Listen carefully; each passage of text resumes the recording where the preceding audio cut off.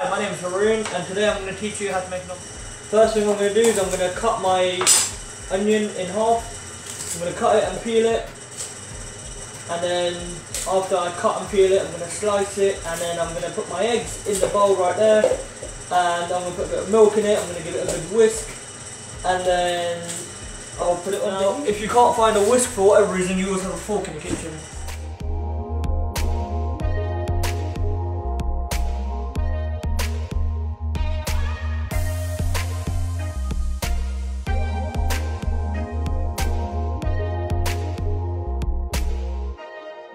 Now you can add, if you like cheese, if you don't like cheese, it's not a problem, don't add cheese.